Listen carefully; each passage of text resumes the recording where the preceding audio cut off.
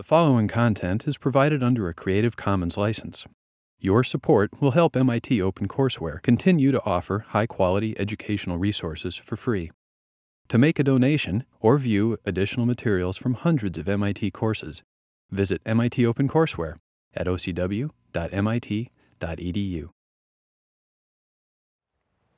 This is my definition, including the method to paint the car, so to change its color. And the question says you create a car with this line here. So you're initializing it with 4 comma 2. What's a line of code that changes the color from uh, whatever initially is to red?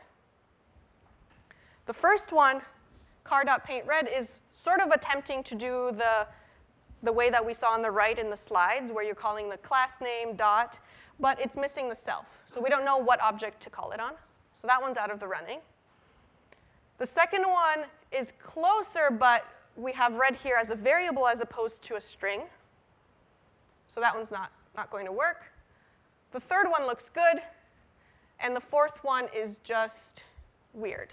I don't think that one will work. It's attempting to put a value for self, but you've already called my car dot instead of the, um, instead of the uh, class, class name dot. So here, um, this isn't going to work. So since you already called um, the object name dot method name, you just have to give it the other parameter that it needs, which is the color. Okay? I think the majority have gotten it right.